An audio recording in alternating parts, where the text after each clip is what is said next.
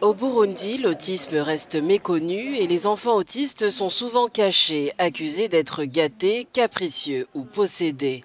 Des rares parents comprennent cette situation et accompagnent leurs enfants comme le fait Alice, une mère de trois enfants, dont un autiste.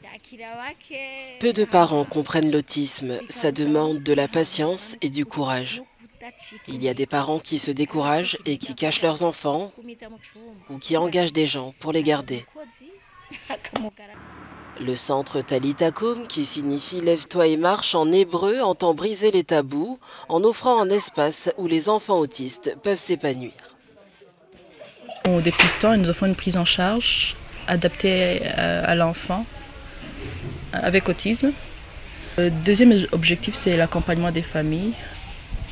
Euh, le troisième objectif, c'est l'objectif de sensibiliser, sensibiliser euh, tout le milieu de vie de l'enfant. Ce centre s'efforce de devenir une référence en autisme en adoptant notamment le point de vue du docteur Ingabire, qui le définit non comme une maladie, mais comme une variation naturelle à diagnostiquer rapidement.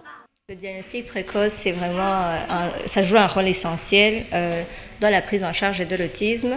Euh, d'abord pour les enfants concernés, ça leur permet de pouvoir bénéficier à une prise en charge qui est euh, précoce, qui est euh, adapté. Euh, ça va améliorer leurs compétences.